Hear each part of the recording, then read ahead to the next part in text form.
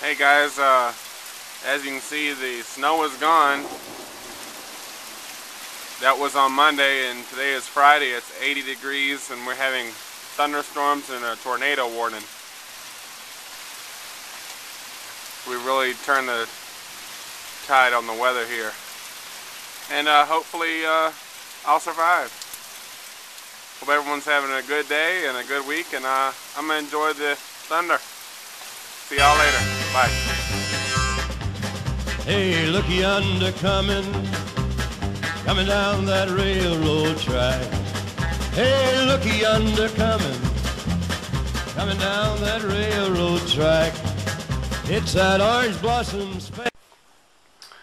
What's happening? What's happening?